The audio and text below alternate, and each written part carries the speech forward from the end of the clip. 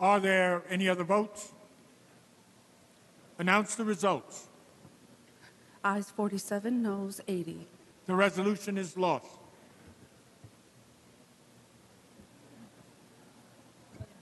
Mr. McKevitt. its reading, move its immediate adoption, and request the opportunity to explain. Clerk will read. Assembly 834, Resolution 834, Mr. Kolb. Assembly Resolution amending Section 1 of Rule 4 of the Assembly Rules in relation to standing committees. Mr. McKevitt on the resolution. Yes, Mr. Speaker, currently under the Assembly rules for committee membership, it provides that the number of majority members of each committee shall be in the same ratio as the majority members of the House as to the entire members of the House, with all fractional members being credited to the majority. Our amendment would change that from all fractional members to the majority to all fractional members of one half or greater to the majority. The reason for this is that these are the very simple rules of rounding up, which we learn in elementary school, and even with Common Core math, our children are learning that's the rule. So, for the sake of simplicity, to make sure that the rules of math are the same in this chamber everywhere else, I'm going to move the adoption of this. Thank you. Mr. McDonough.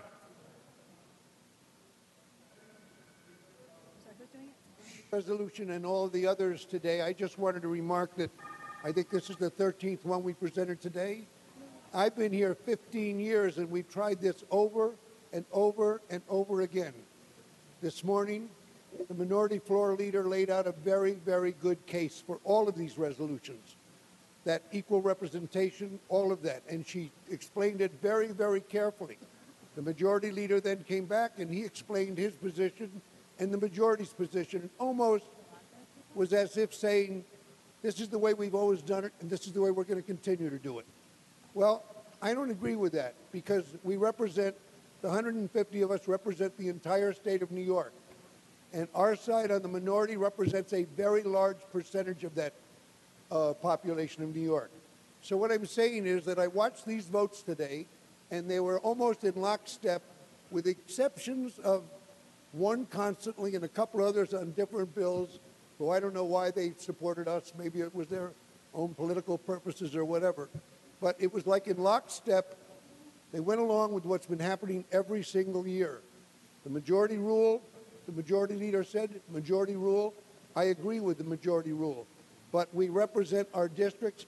And I guess what I'm saying is today, as so many times in my 15 years here, the same thing has happened again. But maybe I should say thank you to the majority for this. Thank you for proving our point, because that's exactly what you're doing. And the people sooner or later will say to you, you can't keep doing this. We want the same representation that you have. Thank you, Mr. Speaker. Thank you. Mr. McLaughlin. Thank you, Mr. Speaker. Typically, uh, number 13 is considered lucky, but this is an unlucky day for the people of New York State. 13 times this body could have voted to reform the way we do business. 13 times the majority said no. We heard about supposed technical problems with some of these resolutions. That's interesting because the SAFE Act was riddled with technical problems, but you had no problem jamming that down the throats of New Yorkers, and we're living with those problems today. There are no technical problems with these resolutions that couldn't be very, very easily solved, if indeed there are any uh, to begin with. We heard an absolutely twisted and agonizing definition of what the majority means. The majority means the greater number. That's it. That's all. The greater number. All of us are elected by our constituents to come here and be their voice. So I invite all of you to go home to your constituents this weekend and you tell them how you stood in the way of reform, given the fact that two out of the three amigos are awaiting sentencing. You go home and tell them that you said no to 13 reforms that made perfect sense only because you had the numbers and because you could. I don't think that they're going to think that you are representing their best interests because I can guarantee you they want term limits. They want term limits on leadership. They want hearings. They want to see what's going on inside this chamber. They want to open up the process. They want sunlight and sunshine, and you said no. So good luck going home to face them at their pancake breakfast this weekend. I think you're going to get an earful, and I hope you do.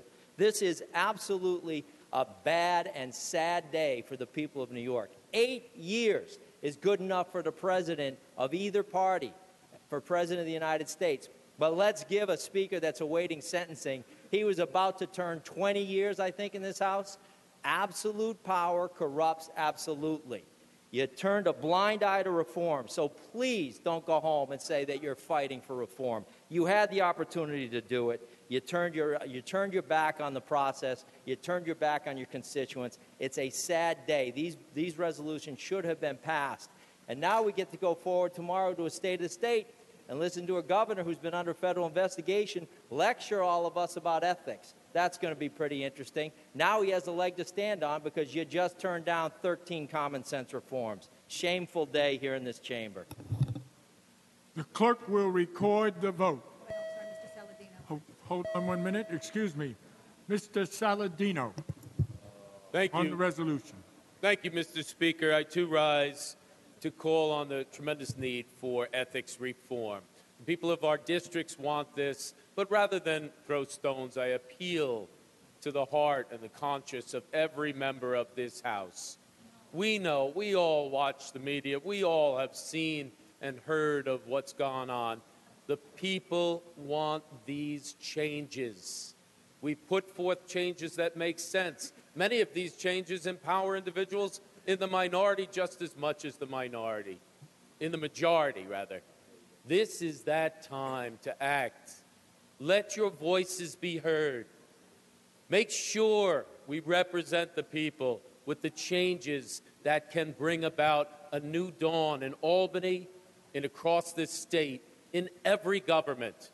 By voting yes, you send a message that you are with those who sent you here. I certainly will be voting yes for the people of the district back home who demand that change. And I call on each and every one of you to do the same. Thank you, Mr. Speaker. The clerk will record the vote.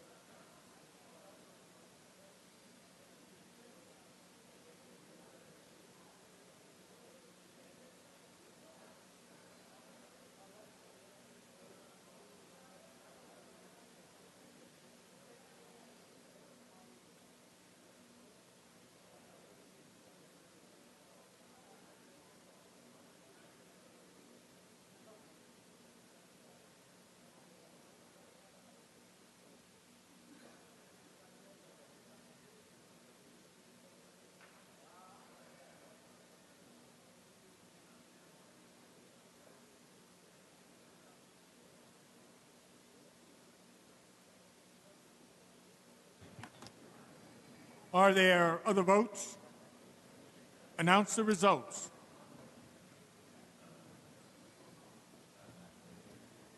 I 40, ayes 43, noes 86. The resolution is lost. Mr. Morelle.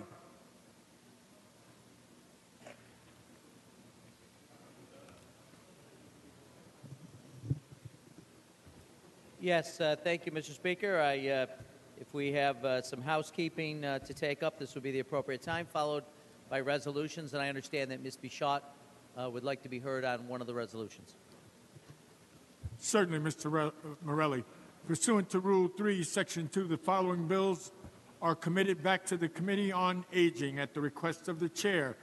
Calendar number 167, Bill number 4037 by Ms. Robinson. Calendar number 205, Bill number 5320, Mr. Cymbrowitz. Calendar number 206, Bill number 5332, Mr. Cymbrowitz. Calendar number 335, Bill number 8228 by Mr. Cymbrowitz. Good. On behalf of Ms. Paulin, Bill number 269A, Assembly Bill recalled from the Senate. Clerk will read the title of the bill. An act to amend the public health law. Motion to reconsider the vote by which the bill passed the House. Clerk will record the vote.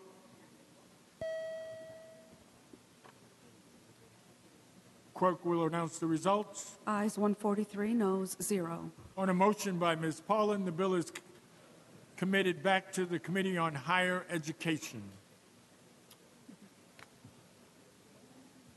On a motion by Ms. Paulin, page four, calendar number seven, bill number 115, amendments are received and adopted.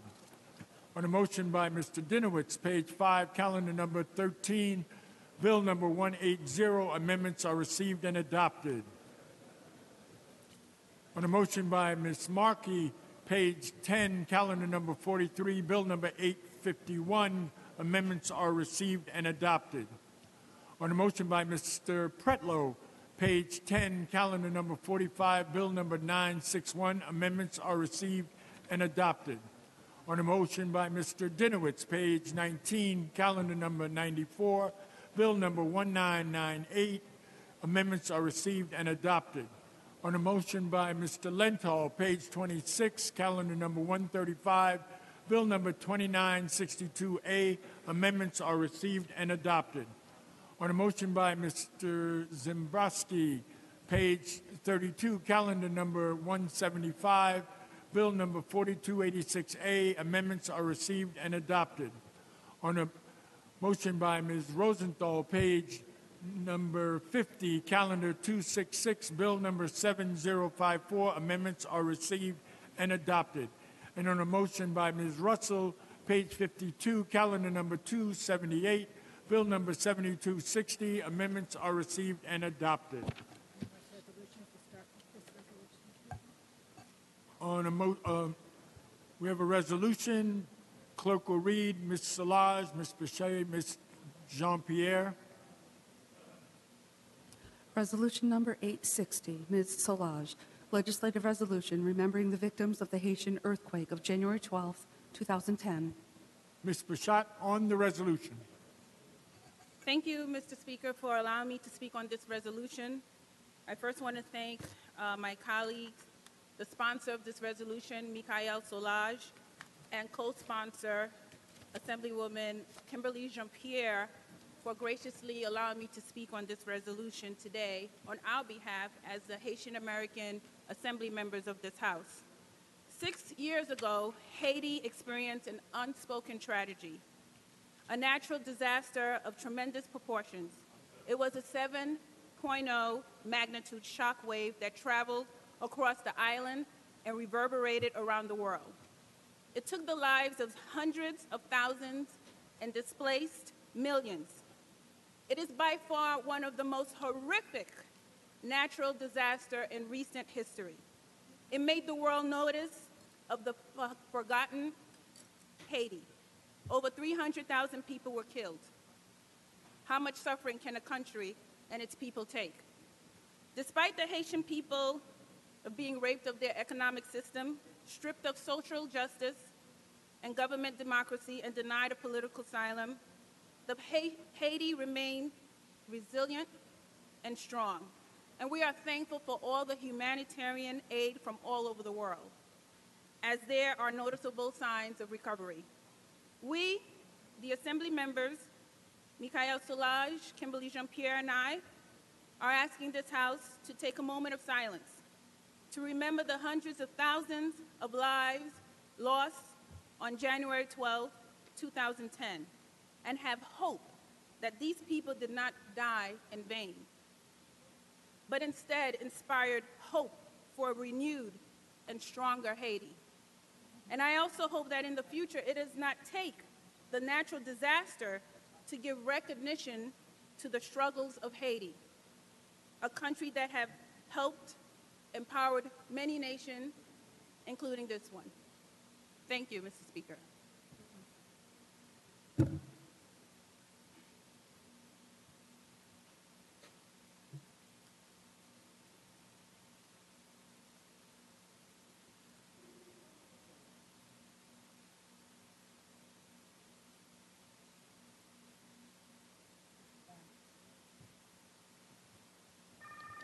Mr. Barron on the resolution?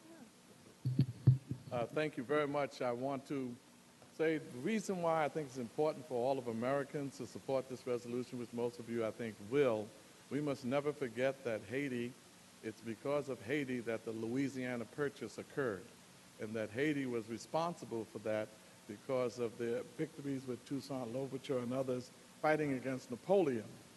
So America owes a debt to Haiti. We owe reparations to Haiti, so does France. And this is the least we could do is this resolution. Thank you very much. On the resolution, all those in favor signify by saying aye. Opposed, no. The resolution is adopted. We have several other resolutions, fine resolutions. We will take them up in one vote. All in favor of the resolutions, please signify by saying aye. Opposed, no. The resolutions are adopted. Mr. Morelle. Yes, thank you, sir. If we could call on uh, Ms. Schimel for the purposes of an announcement. Ms. Schimel, for the purposes of an announcement. Yes, Mr. Speaker, there will be a majority conference in the Speaker's parlor immediately following the close of session. Thank you. Conference room. Thank you, Ms. Schimel. Mr. Morelle. Yes, sir. Uh, just a reminder to all the members that tomorrow the governor will be delivering his State of the State and budget presentation at the Convention Center at 12:30. Um, and with that, I move that the Assembly stand adjourned until January 13th, tomorrow being a legislative day, and that we reconvene on January 20th, which, colleagues, is next Wednesday, and we will be reconvening at 1 p.m. 1 p.m. Wednesday, uh, June 20, uh, January 20th. That will be a session day. The Assembly stands adjourned.